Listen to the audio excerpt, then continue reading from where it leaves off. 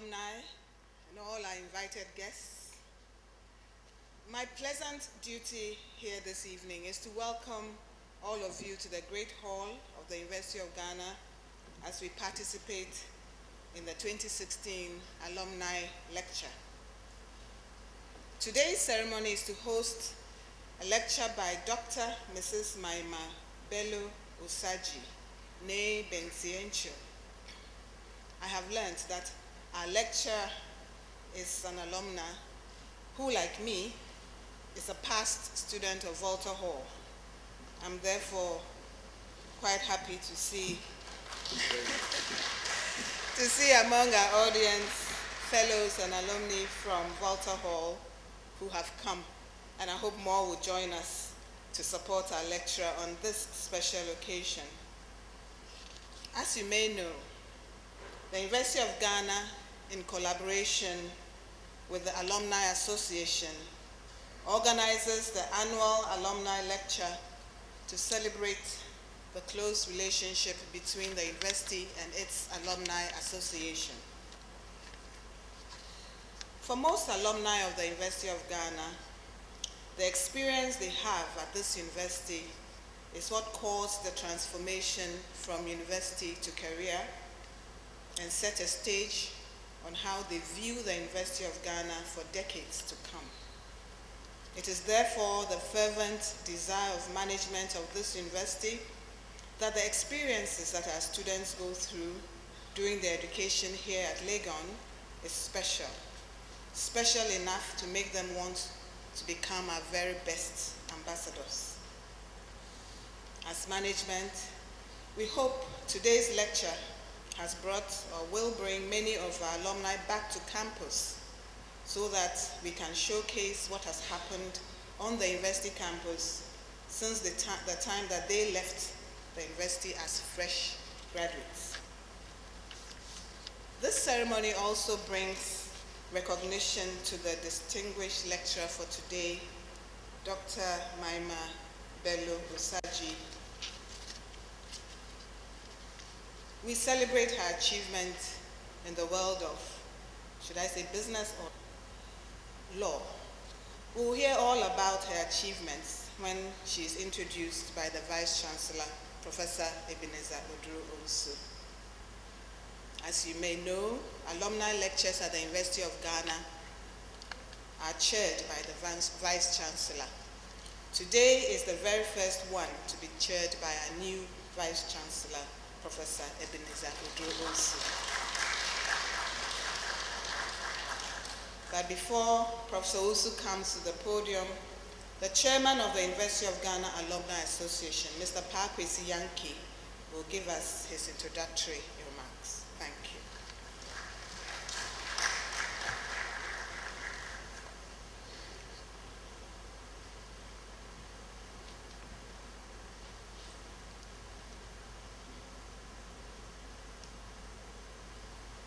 It is said that as you grow older, your arms become longer and you try looking for glasses to make sure that you're reading the correct scripts.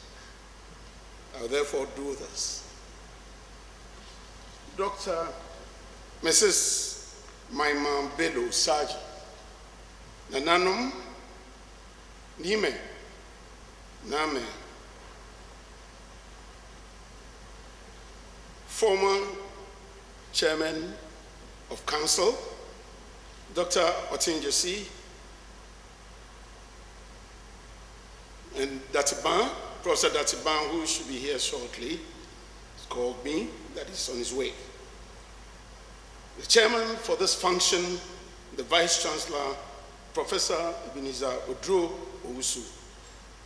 Pro VC, that's Pro Vice Chancellor, members of the Diplomatic Corps, senior members, distinguished ladies and gentlemen, fellow alumni of the University of Ghana, alumni of the University of Harvard or Harvard University, the Walter Hall alumni, old Achimotans and students. I bring you greetings from the Alumni Association of the University of Ghana.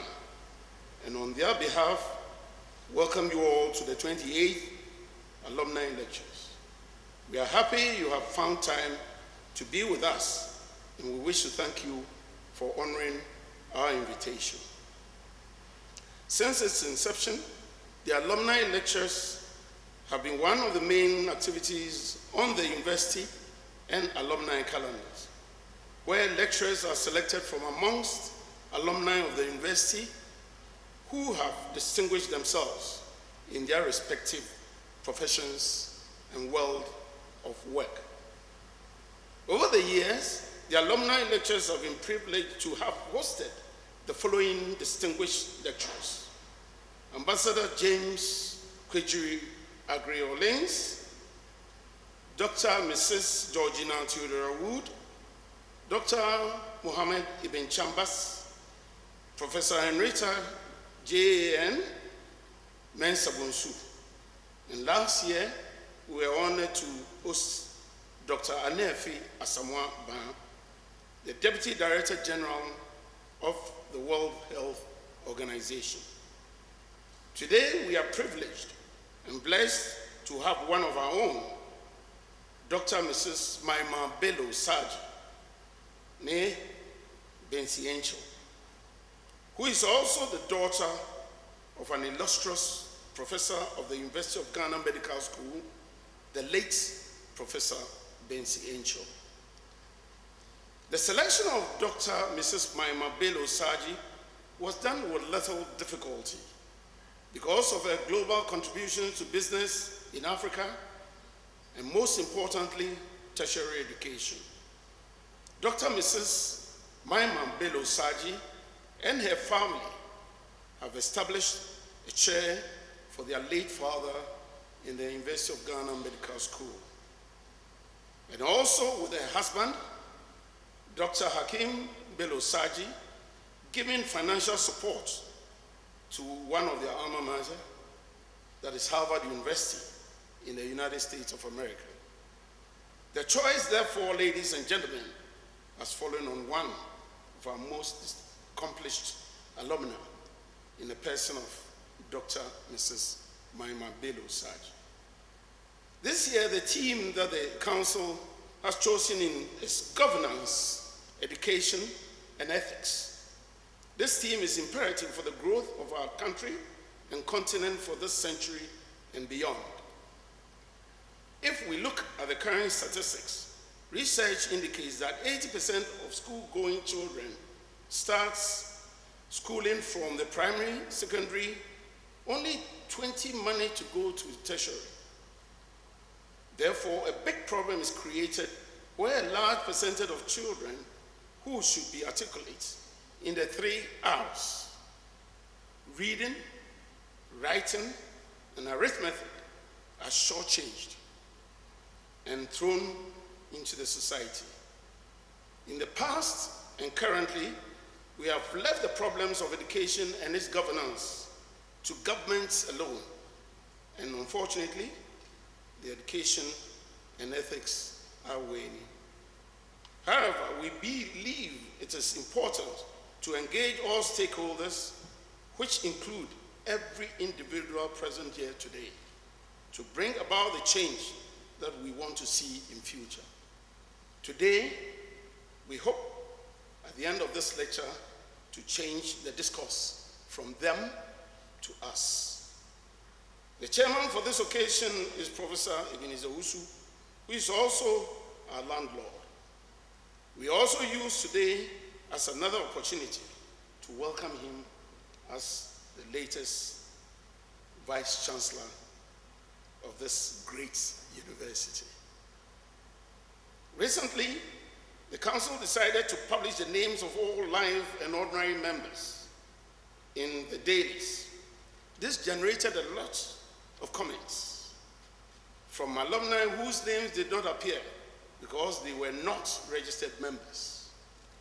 I would like to use this opportunity to invite all of you who have as yet not become members of the Alumni Association to fill membership forms, issue checks to be live and regular and affiliate members. By this, you will be pledging your lifelong support to the university of which you are surely proud of. Also, through this, we can also call on you to support the association in undertaking some of the projects we have set ourselves for the university. A project we have just completed for the university is a mother's wing for the Legon Hospital. And within the next two weeks, we shall cut the tape to open it up for mothers whose wards get admitted in hospitals but have nowhere to lay their heads, sleep on the eaves of buildings in reception areas. So this is what your association has produced for the university. And in two weeks, we are going to make sure that it stays open. Please, we need your interest. Please, we need your assistance. All of you, all alumni. Let us be proud of our alma mater. We are supposed to nurture the mother who brought us to being. That is why we have what we call alma mater. Mr. Chairman, distinguished ladies and gentlemen, the former VC, at the end of the delivery of the lecture, five distinguished ladies and gentlemen will be made honorary alumni members. This gesture is to honor those who, even though did not attend the University of Ghana, have on their own way, in their own way, contributed tremendously for the growth and the upkeep of this university. They are in the persons of His Excellency John Agyekum Kufuor, the former President of the Republic of Ghana, Professor Akila Pasoya, for so many years, a Vice Chancellor,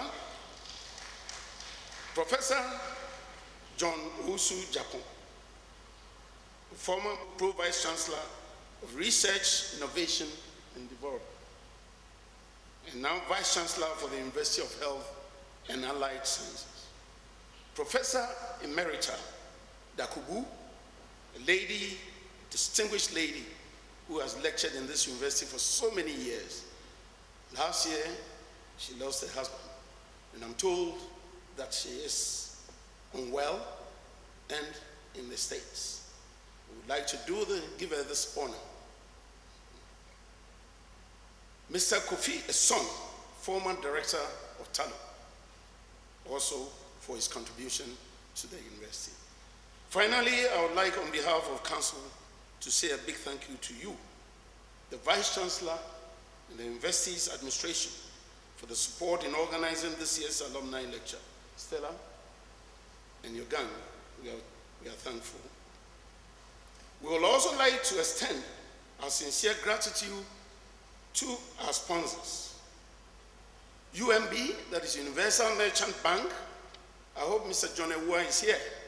Thank you, Mr. John Ewa, for all you're doing for us, the university and the Alumni Association. We are grateful. Ghana Free Zones Board, I believe Mr. Chumbuafo is not here, but Zeblim is here. He's the Director of Administration. Equity Assurance, the Vanguard Assurance, that is Mr. Daniel Wadakun, he's here. Mr. Dani, that's NDK Financial Services. Mr. Faridonko of the Country Water. Mr. Twum, Kwesi Twum of Multimedia Group. And I'd like to pay a special, say a special thank you to Mrs. Gina Blay of Western Publications and all our media partners, namely Multimedia Group, Radio Univers, The Daily Guide, Oman FM, City FM, and the Daily Graphic Communications. You all making time. I thank you so much for your support and also making time to grace this occasion with your presence. I wish you all the very best of success in your all your endeavors. Thank you so very much.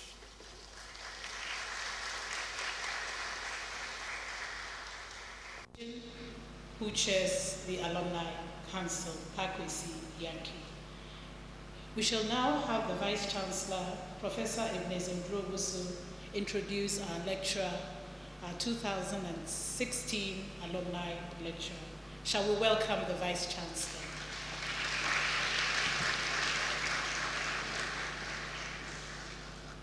Pro Vice Chancellor, Academic and Student Affairs, Registrar,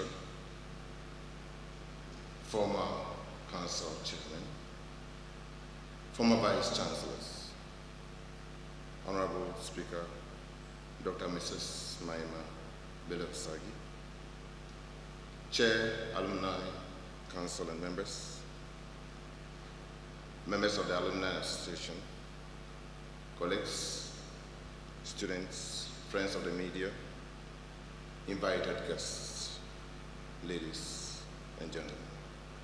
It is my singular honor to introduce to you today the speaker for this alumni lecture. Dr. Mrs. Maima Bello Saji, née Bentsil-Enchill, who's an LLB 1975 from the University of Ghana, and an LLM 1978, and SJD 1985 from Harvard Law School in the United States. She was called to Ghana Bar in 1977, the same year that she graduated from the Ghana Law School. She was subsequently called to the New York Bar in 1983. Thereafter, she attended the Nigeria Law School from 1983 to 1984 and was called to the Nigerian Bar in 1984. Dr. Bello Saj assisted with the drafting of the Nigerian Communications Act of 2003 and was retained by the federal government to assist also with the drafting of Nigeria's downstream gas legis legislation. She has advised several local, regional, and international companies, organizations, institutions, and governments on a variety of transactions. Dr. Belo-Osagie is currently senior managing partner of a leading Nigerian corporate law firm, Udo and Udoma and Bello Osagi. She specializes in energy, natural resources and the environment, telecommunications, and corporate restructuring. In addition, Dr. Belo-Osagie sits on the board of various companies and acts as a trustee on the board of several nonprofit organizations, including the African Leadership Foundation, the Growing Business Foundation, the African Wildlife Foundation, and the Arts and Business Foundation. She's published several articles on Nigerian petroleum regulations, Nigerian environmental law, and foreign investment in Nigeria in international journals such as the Petroleum Economist. Dr. Belo-Osagie is married and is a member of, sorry, is a mother of four children. She speaks to us today on the topic, who is the governance in the educational sphere. Ladies and gentlemen, I call on the podium Dr. Belo-Osagie to share with us the thoughts she, have on, she has on this and how, as a community, as a nation, we can move forward with those thoughts and ideas that she has. Doctor, you're welcome.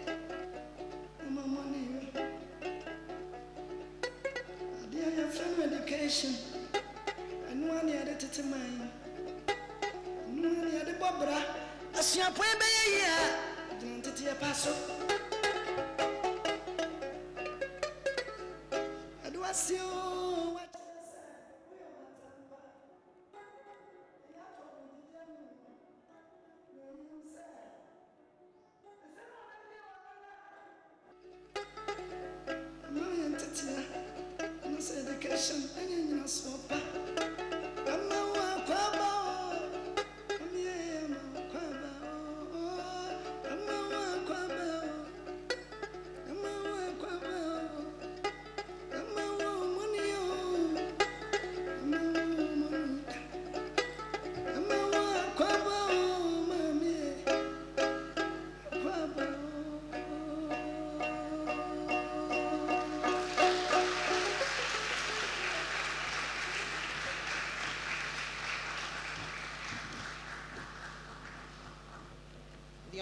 Vice Chancellor and Chairman of this occasion, Professor Oduro Owusu, the Pro Vice Chancellor of the University of Dagon, the Honorable Minister of Education, Professor Nana J. Opoku Ajiman, members of Council of the University of Ghana, Nananu Nime Nanane, Your Excellencies, Deans, Professors, Lecturers, distinguished guests, fellow alumni, prospective alumni, friends, ladies and gentlemen. In doing these things, one always worries that one has not completely complied with protocol, and if that is the case, my apologies to all. I must first thank the Alumni Association of the University of Ghana, and in particular, the chairman of the association, Mr. Pakwesi Yankee, for inviting me to speak at this august occasion.